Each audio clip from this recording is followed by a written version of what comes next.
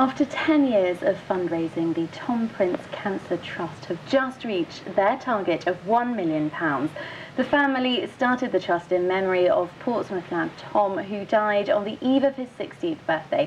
And join us in the studio to tell us more are Tom's father, Clinton Prince, and his sister, Emma. Thank you so much for coming in. So if I start with you, Clinton, just tell me a little bit about Tom. What was he like and what kind of happened to him?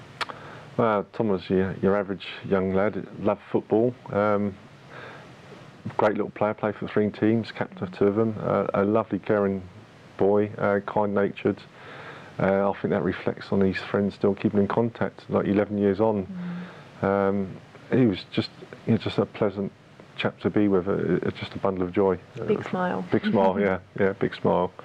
Um, yeah, it, it just, it was just easy to get on with from birth to to the last days, he was he was he was such a joy. We were just blessed with him. Um, and as I say, his friends uh, come around even to this day. Um, and when we have the, the uh, they could do for Tom in September, they come out in their, their, their numbers to support us. Uh, and it's like almost like a, well, it's like a reunion.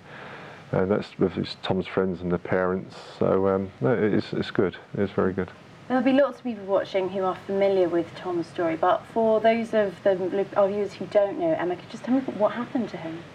Um, yeah, uh, he he suffered from osteosarcoma, which is a really rare bone cancer.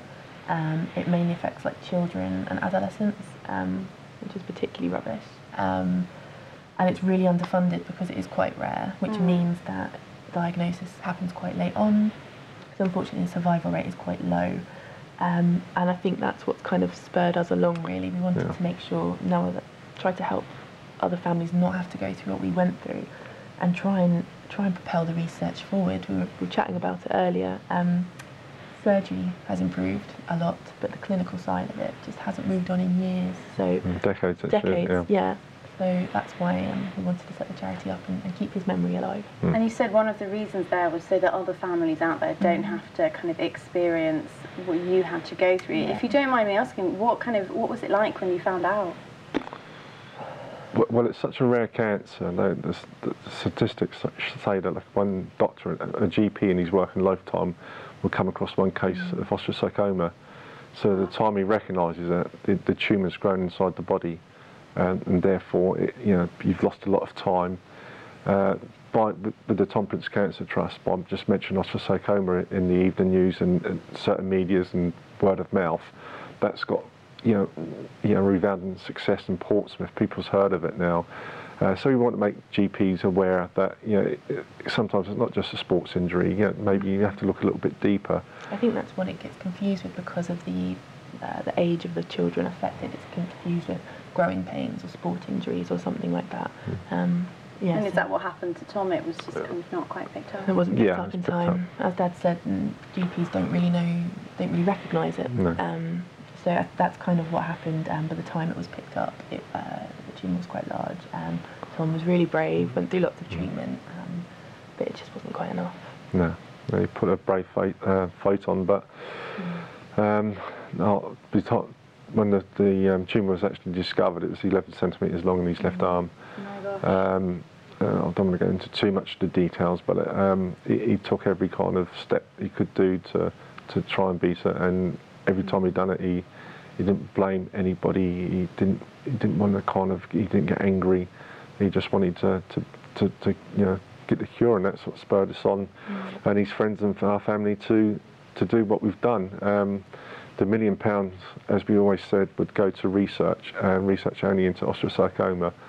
Um, you could look at different papers and you, they, they, the numbers come up from 150 to 600 children a year get from England, Ireland, Scotland and Wales get uh, diagnosed with osteosarcoma. So the numbers are small in clinical terms and trials, but for a, family it's devastating. Mm. Um, and we've read a few papers, and as, as, Emma said, like the, the surgery side of it has come on leaps and bounds. Different type of metals, and if they put an implant in the arm, that they can put a, uh, a device in there to actually make the, the, the, arm grow as, as the child gets older and the limb gets longer.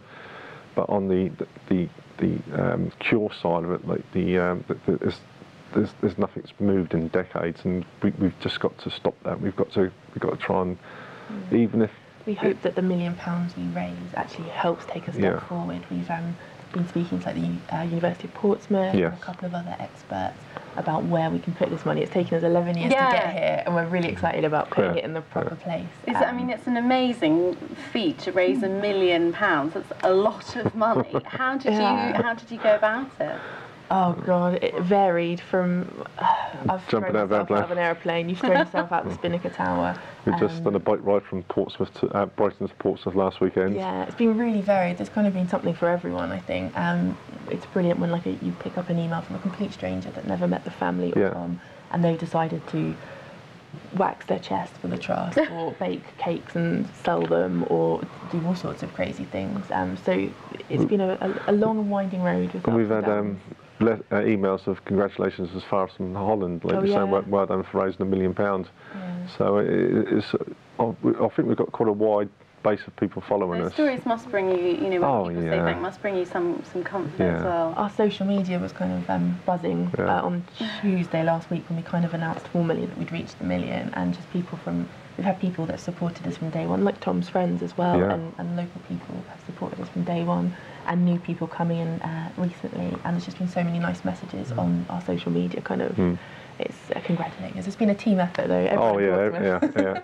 Yeah, I'd like to thank everybody for that. So you've got this million pounds. You were saying that you're talking to universities. There's not kind of one body that looks into it. So how are you going to make sure that it goes to the cause that you care about so much? Well, the, the thing is, is because it's such a rare cancer, and there are people doing research into it, but it's, it's piecemeal. Um, And there's a thing called a, you know, I'm not a scientist, but this is my brief of it. Is that, you know, every every cancer has got uh, a, a biomarker on it, and that means you've basically got a handle on what cancer it is. So therefore, you can put the treatment in place, the delivery system to, to fight the cancer.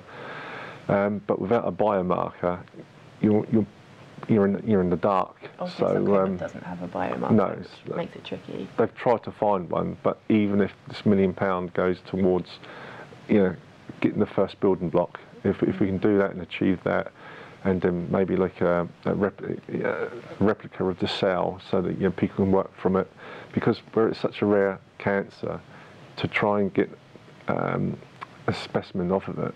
It- It's, it, there's so few and far between, so you, you might have to get a, a model of the, the cell so people can walk, work away from it and try and you know get rather than one person studying it. You've got various um, establishments trying to do research into it. It's been uh, it's been an eye opener to see how um, frac- fracturated is that the word? Um, like the research into it has been so far. Lots of great people doing lots of great things, but it's really disparate. And we're very strict on the fact that the money has to go to Mm. osteosarcoma research because it's so underfunded. And the aim we think is to try and um, get all of the people to kind of work together. We need sample banks. They all need to be Yeah. linked up. Um, but talking to certain people, it's really exciting about what could possibly be done, and not even just trying to take a step further forward in the research, but trying to actually encourage the next generation of osteosarcoma experts because because it's underfunded, it's under researched. So you need to actually entice people in to look into the disease, which is something we weren't expecting. Um, we might have to recruit people from the other side of the world to take this on. It's been a real eye opener, um, but that's that's what we're going to do. Yeah. Well, it sounds like the money is much needed and Mm. hopefully will make a big difference in Yeah. looking into this. Clinton Emma, thank you very much for joining Thank me you. today. Thank you.